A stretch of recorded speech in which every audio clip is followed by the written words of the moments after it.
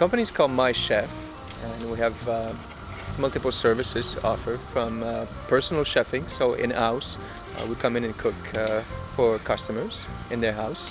We do catering uh, from small to big events, like a thousand people if uh, needs to. And we also have cooking classes and tasting events, such things.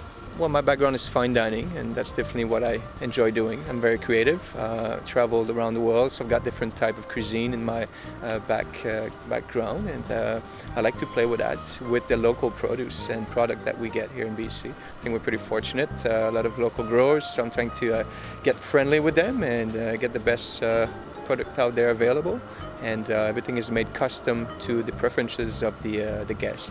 So I sit down with them, we discuss what they would like and allergies. If there's a theme to the party, then we, we, we just go along with that and we create the menu accordingly. Today we're doing a catering event for Aritzia company. It's their general staff meeting.